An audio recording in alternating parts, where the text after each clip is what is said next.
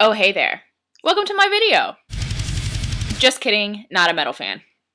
I felt somewhat uncomfortable shooting a video with my webcam because, one, let's face it, no one looks gorgeous on a webcam.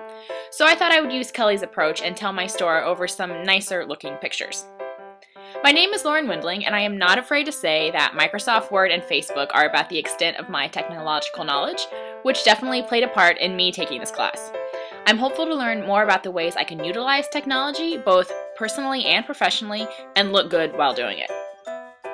I currently work for Best Buddies, a nonprofit school-based organization that creates friendship and leadership opportunities for individuals with intellectual and developmental disabilities. I primarily work with college-age students around the state. I have previously worked as a Fulbright English teacher in South Korea and ran an after-school academic enrichment program on the Near East Side of Indianapolis. I'm a big exercise enthusiast. I love cycling, lifting weights, and flexing my muscles in front of the mirrors at the gym. I currently live in Broad Ripple with my boyfriend, and I'm trying to take up gardening, so we'll see how that goes. I'm pretty thrifty, and I also love a good Groupon.